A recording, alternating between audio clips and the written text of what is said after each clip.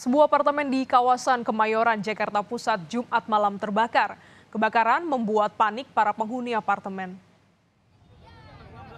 Asap pengepul dari terbakarnya kompresor pendingin ruangan di salah satu kamar yang berada di lantai 28 apartemen Butik Kemayoran, Jakarta Pusat pada Jumat malam. Mendengar adanya kebakaran, para penghuni apartemen langsung berhamburan keluar dan berusaha menjauhi dari tower apartemen. Api dapat dipadamkan setelah lima unit mobil pemadam kebakaran diterjunkan ke lokasi. Tidak ada korban jiwa dalam peristiwa ini.